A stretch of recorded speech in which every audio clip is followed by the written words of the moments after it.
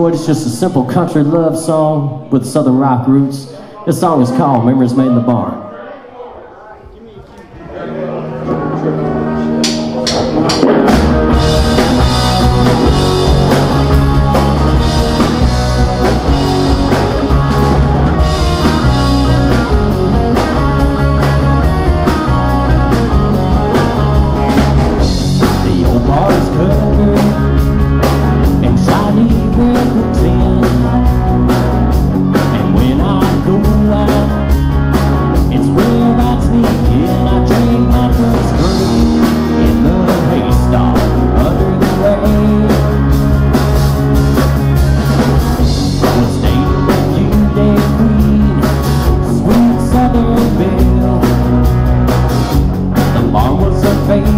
far.